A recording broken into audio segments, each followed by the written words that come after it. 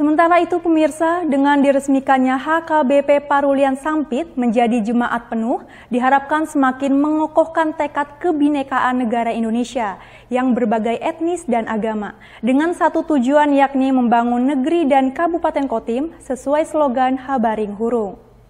Bupati Kota Waringin Timur yang diwakili asisten satu Setda Kotim Rihel saat membacakan sambutan Bupati menyampaikan atas nama pemerintah Kabupaten Kotim dan atas nama pribadi mengucapkan selamat atas peresmian HKBP Parulian Sampit menjadi jemaat penuh.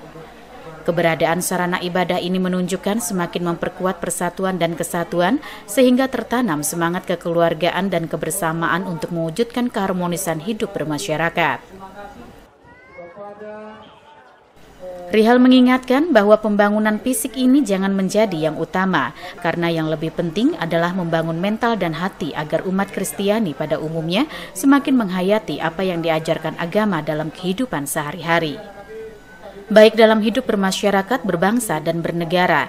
Oleh karena itu, dengan kehadiran gereja ini akan semakin meningkatkan semangat umat untuk beribadah di gereja, bukan sebaliknya.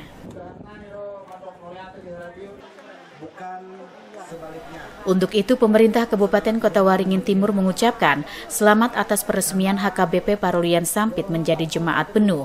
Keberadaan sarana ibadah ini menunjukkan semakin memperkuat persatuan dan kesatuan sehingga tertanam semangat kekeluargaan dan kebersamaan untuk mewujudkan keharmonisan hidup bermasyarakat. Semuanya ini butuh perjuangan bagi teman-teman yang uh, orang Batak yang mereka pada di mana-mana saja pasti akan membangun gereja karena memang itu adalah memang sudah tekad mereka. Tapi tentunya kita pemerintah selalu akan mendukung dengan harapan tadi semuanya bisa berjalan dengan baik, kerjasama antar umat beragama pun dengan itu bisa berjalan dengan baik. Rihal menambahkan, pembinaan dan pembangunan di bidang agama mempunyai kedudukan dan peranan yang amat penting sebagai bagian integral dari upaya meletakkan landasan moral dan spiritual yang kokoh bagi keberhasilan pelaksanaan pembangunan nasional dan daerah.